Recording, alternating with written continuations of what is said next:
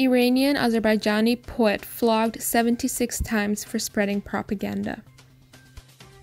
An Iranian Azerbaijani poet and satirist was flogged 76 times on Sunday in a court in the city of Khoy, West Azerbaijan province. Branch 103 of the Criminal Court of Khoy had earlier sentenced Mohammad Hossein Sodagar to 76 lashes for spreading propaganda.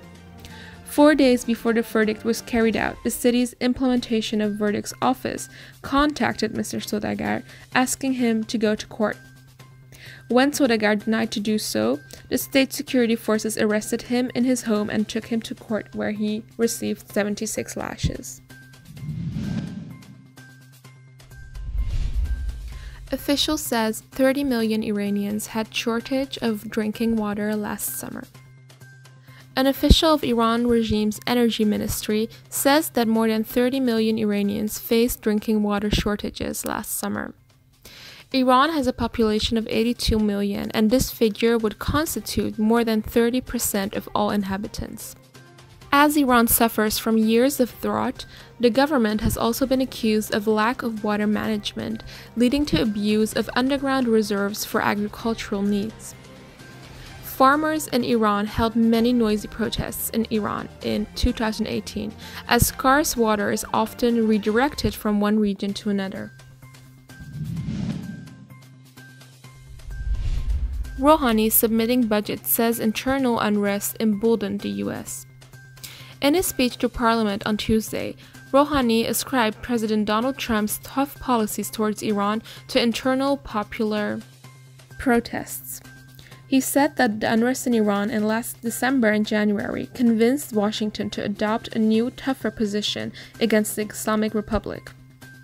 President Trump announced the U.S. withdrawal from the 2015 nuclear agreement with Iran on May 8 and reimposed crippling economic sanctions.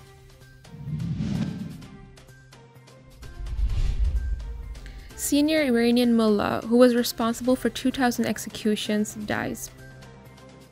On Monday, Iranian state run media reported that Mahmoud Hashemi Shahrudi, a senior Iranian cleric, had died of illness. Shahrudi, 70 years old, was the chairman of the Expediency Council, a body that resolves disputes between the Iranian regime's parliament and the Guardian Council. Shahrudi previously served as the chief of the Iranian regime's judiciary for 10 years. During his tenure as the head of the judiciary, Shahrudi played a major role in the execution and torture of thousands of political prisoners and members of ethnic and religious minorities. Human rights activists have made calls that he is brought to justice in international tribunals. Earlier this year, Shahrudi was forced to cut short a visit to Germany because activists had filed complaints against him for his role in passing death sentences to political prisoners.